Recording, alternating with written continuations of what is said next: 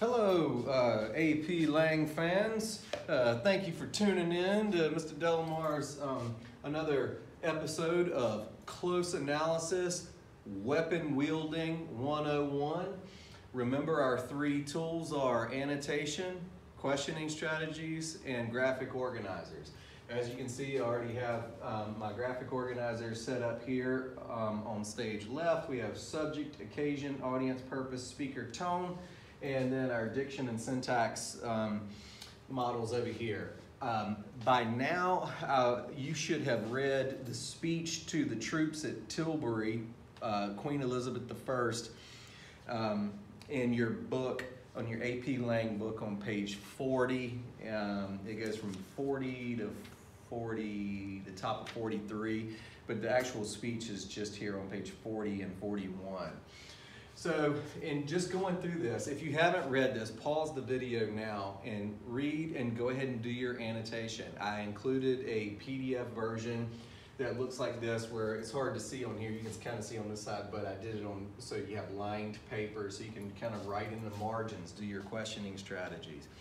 We'll just talk a little bit about what I see and then um, how to tie that to our um, rhetorical situation and our rhetorical appeals, right? And um, then I'm going to have you write your own thesis sentence. How does Queen Elizabeth I use her, her rhetorical um, devices and her organization and structure of her speech to um, establish her purpose. And the subject matter, I hope that you've already read this. Um, in the background, it gives you a little bit of background context to the situation. Um, the occasion is, uh, the, or the subject um, is war with Spain. And as we know, the Spanish Armada is parked off of um, the British Isles off of the coast of England in uh, the English Channel, right? And um, it's the largest, most diff, uh, well, heavily armed um, navy in the world at that particular time. And we understand that Queen Elizabeth in England, they're going, uh, they're on some hard financial uh, times. They've fallen on hard financial times and cannot go on the offensive. And so they're just waiting for the Spanish Armada to attack. And they have limited numbers, they have a limited, limited navy, limited army. And so she has to use her powers of persuasion to get people to um, step up and really fight the fight. There are, she has traitors outside and inside. There's a lot of people who do not approve of a woman leading the country, you know, during this time. We're talking about the 15th century, uh, 16th century, 1588, right? So uh, 1588, there's a lot going on here. Um, war with Spain, you know, um, uh, hard economic times, that already fits into the, the equation here. Um, and in, in addition, um, you know, part of the context is you have a, um, a queen versus a king, right? Queen Elizabeth is very young also now. She, they call her the Virgin Queen. You know, she was uh, in her late teens, early 20s um, when this speech was made she rides in and she meets her troops at Tilbury and she is out there among them, much against the advice of um, her um, nobles and her councilmen who thought that she should just let a man go in there and give the speech because there might be traitors in the army who would love to have an opportunity to make a little money or to get her out of the way so someone else can step up to the plate and you know be a, be it a king or someone else. All right, so um, she goes in, she's dressed in armor.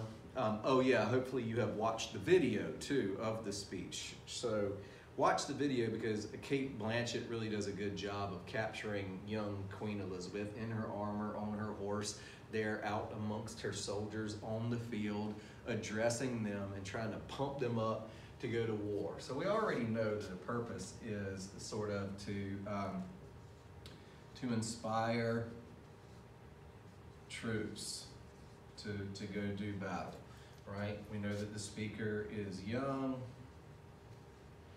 and um, somewhat inexperienced, young and female, right? So these are all going to sort of tie in. Notice how she begins with my loving people, you know, and um, I'll, I'll use my loving people.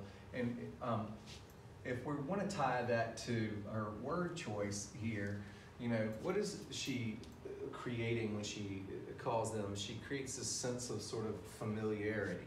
And hopefully that, I'm not sure you can see this green, this green doesn't show up all that great, let's purple. All right, my loving people.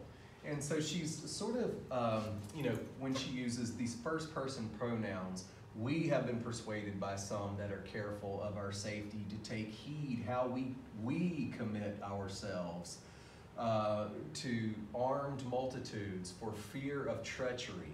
But I assure you, I do not desire to live to distrust my faithful. I do not live to distrust my faithful and loving people. So, my loving people, she's already said that twice, you know, um, and establishing a sort of credibility, and you could even tie that to pathos, you know, this um, sort of familiarity um, that she's establishing there. Let tyrants fear. I have always so behaved myself that under God I have placed my chiefest strength and safeguard in the loyal hearts and goodwill of my subjects. And therefore I am come amongst you as you see at the time, not for recreation and to sport. I'm not here for my recreation or sport, but being resolved in the midst, the heat of battle, there's that resolve and uh, to live and die among, live and die among you all to lay down for my God we're bringing God into this again and for my kingdom and my people, my honor, and my blood, even in the dust. So I love this. You know, she starts out in, in the beginning, she, um, you know, creates this sense of, you know, her, her purpose in the intro. See, is unity, right? And that you could tie to pathos. And there's a certain, um, a credibility about that. You know, we're all in this together. You know, um, it, and she also said when she shifts from we to I, she uses that first person plural, we, us, our, and then my kingdom to remind us that she is in charge, right? And be, her resolve is also a good word, uh, you know, to let us know that she is determined, right? Um, you know, let tyrants fear. I have always behaved myself that under God I have placed my chiefest strength and safeguard in the loyal hearts and goodwill. So that she is earning sort of the respect. You know, you are loyal, you are uh, of goodwill. You know, we have God on our side. So all of these things can tie in. This all of this word choice here could be used to establish um, her credibility or the emotional content of that, right? You know, think about who her audience is. You know, how does this tie to her audience? You know, um, who are poor and downtrodden, right? Um, and it gives them this sense of unity.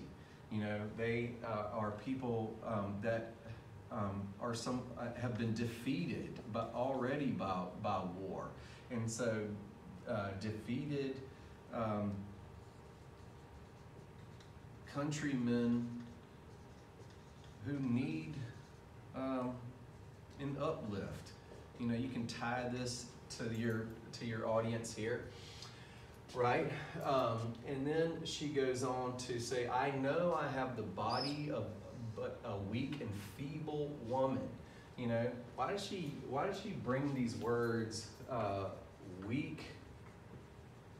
And feeble. You know, why would she want to, you know, she's not weak and feeble. She's standing out there amongst them. She is um, owning the fact that she's a woman. She's not a king, right? But, and here's that contradiction again, but I, you know, for, I, I don't want to uh, stand out here. I'm not going to not stand out in front of the armed multitudes for fear of treachery, but I assure you I do not desire to live. And then she uses that same construct here. So she uses these sort of, um, you know, uh, uh, contrasting ideas. Um, you know, you know, if if this, but that happens, you know, kind of construct. I have the heart and stomach of a king, right? This very visceral language that she uses here. You know, it gives us the impression that she is young and female, but she is tough. You know, she's got, you know, we talk about, I mean, the heart and guts of a king, and the king of England too which is something to be proud of. Again, you know, there you can hear them hooting and hollering, you know. Um, and I think foul scorn that Parma or Spain or any prince of Europe. So here we have foul, when she talks about, um, you know, foul scorn that Parma or Spain or any other prince of Europe should dare to invade the borders of my realm to which rather than any dishonor shall grow by me, I myself will take up arms. I myself will be your general and rewarder of every one of your virtues in the field. So the rewarder of virtues. So I myself am going to take up arms. I myself will be your general judge. So you can you could talk about the repetition of this in under syntax, or you could talk about it in terms of you know uh, her, her word choice here. I will take up arms. I will be your judge. And this, there's a logic to this word choice right here, logos, because we know that the people are poor, and I will be the rewarder of your virtues in the field. So there might be something in it for you. You know what I'm saying? Um, I know already for your forwardness you have deserved rewards and crowns, and we, notice the we is capitalized, do assure you in the word of a prince, they shall be duly paid you. And there's that time to that logical, you know, what do men um, need? Um, they need some money to do this, right? We need to be taken care of. The people are hungry. You know, again, England is uh, part of the context we're on. Hard economic times. We, um, in the meantime, my lieutenant general shall be in my stead. Then whomever prince commanded a more noble and worthy subject, not doubting by your obedience to my general, by your concord in the camp, concord in the camp, and your valor in the field, we shall shortly have a famous victory over those enemies of my God, my kingdom, and of my people.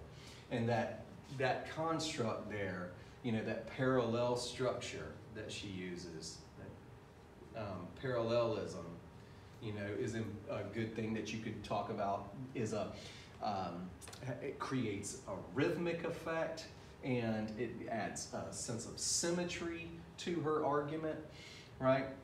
Her tone here, I think it would be safe to say that she is, um, you know, in, she is passionate, also defiant, right? And um, she, but she's also humble, you know. So all of these things, she's humble, she's passionate, and she's defiant. So, I would like for you to go through here and just, you can, you know, this is just a real quick sketch, a real quick uh, run through where we're just kind of talking with the text. And what I would like for you to do now, once you've, you know, taken in this process, watched the video, you've already done your, um, um, graphic organizers, I would like for you to write a thesis sentence. How does she use her elements of style? How does she use uh, rhetorical um, appeals to establish her purpose? You know, and you can do it uh, in, in terms of elements of style, her word choice. You can do it in terms of the way she structures her argument, the ordering of ideas, you know, um, and how does that contribute to the overall tone that she is establishing, which can be defined in three very different ways. Humble, you know, there's a sense of humility, but she's also passionate and defiant. And how and how effective was this? We know part of the context of this is that you know England defeated the Spanish Armada. That's something that's important to tie into your for your sophistication points. A lot of it did have to do with the fact that England was blessed with um, offshore winds that prevented the Spanish Armada from coming ashore because there was such strong winds um, that they weren't able. It was in the spring. It was like you know the uh, April and May winds were blowing so hard that the ships could not come ashore, and so that really kind of helped them because they had to sit out there and you know wait and in the in the meantime it gave the um, you know English army an opportunity to defend and build you know defenses and uh, strategize in that way because going on the offensive was not really an option for them. They really didn't have the Navy to do it. Um, and we're talking about the, you know, 16th century. So, you know, it's not like they could just fire some rockets over there at them or something.